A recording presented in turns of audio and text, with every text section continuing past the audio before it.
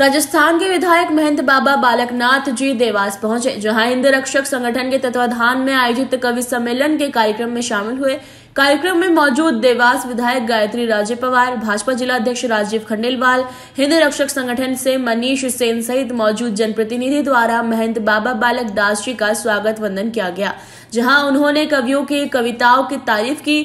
वहीं उन्होंने मंच से आम लोगों को संबोधित भी किया।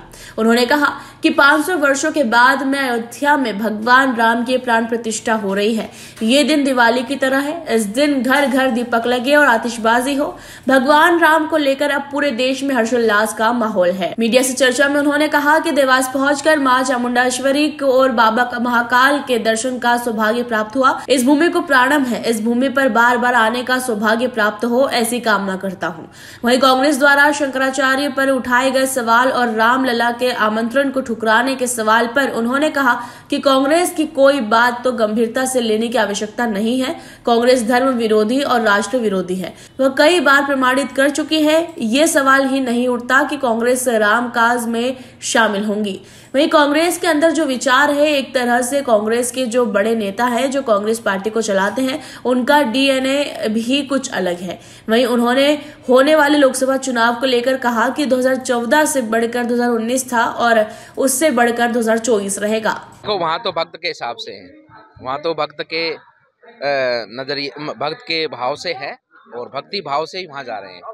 दूसरा सवाल गुरु जी कांग्रेस द्वारा शंकराचार्य पर सवाल खड़े किए जा रहे हैं। आप किस नज़र से देख रही है देखिए कांग्रेस की कोई बात को गंभीरता से लेने की आवश्यकता नहीं है। कांग्रेस धर्म विरोधी है राष्ट्र विरोधी है। वो अपने आप से कई बार प्रमाणित कर कर चुकी है। तो ये सवाल ही नहीं उठता कि कांग्रेस ऐसे राम काज में शामिल होगी। कांग्रेस भारत की धर्म संस्कृति की बात करेगी। कांग्रेस के अंदर जो विचार है या जो उनका एक तरह से मैं कांग्रेस के जो बड़े नेता हैं जो कांग्रेस पार्टी को चलाते हैं क्योंकि उनमें डीएनए ही कुछ अलग प्रकार का है तो वो व्यक्ति ऐसी ही बातें करेंगे। आमंत्रण अस्वीकार कर दिया कांग्रेस ने इसको लेके देखिए जब जो राम को अस्वीकार करते हैं जो राम के नाम को बोलते हैं कि राम है ही नहीं तो आमंत्रण तो उनके लिए कुछ भी नहीं है। आपके पहले पूर्व विधायक जी विधायक जी बैठे थे रामेश्वर जी उन्होंने कहा कि आपको पाकिस्तान में जाना है लाहौर में तिरंगा फहराना क्या कहना ऐसा कुछ नहीं है उनकी भावना है कि हमें पूरे विश्व के हृदय को जीतना है। पूरे विश्व के में रहने वाले अलग अलग धर्म को मानने वाले अलग अलग भाषा प्रांत को जानने वाले बोलने वाले पूरे विश्व का दिल और पूरे विश्व का भाव ये भारत भूमि जीतेगी और सबको अपना बनाएगी। लोकसभा का बिल्कुल बच चुका है कितने पार मोदी जी का सपना चार सौ अरे खूब अभिनंदन रहेगा चौदह से बढ़कर उन्नीस और उन्नीस से बढ़कर आने वाला चौबीस रहेगा। आप विराट सम्मेलन में शामिल हुए क्या कहना बहुत अभिनंदन है हमारे मनीष जी का आज जन्म दिवस भी है, मकर संक्रांति का शुभ अवसर है। आपके कारण मुझे आप सबके दर्शन करने का सौभाग्य मिला, माँ चामुंडेश्वरी का दर्शन करने का सौभाग्य मिला, महाकाल के दर्शन करने का सौभाग्य मिला। ये हमारे नाथ संप्रदायों की तपोस्थली है। बाबा सीलनाथ जी ने यहाँ पर बहुत तपस्या, तप साधना की।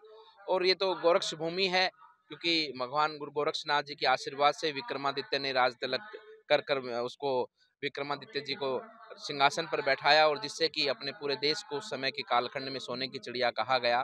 तो इस भूमि को प्रणाम है और इस भूमि में बार बार आने का सौभाग्य मुझे मिले और आप सबके दर्शन करने का सौभाग्य मिले मैं ऐसी प्रार्थना करता हूँ। देवास ब्यूरो चीफ अभिषेक सोनी की रिपोर्ट।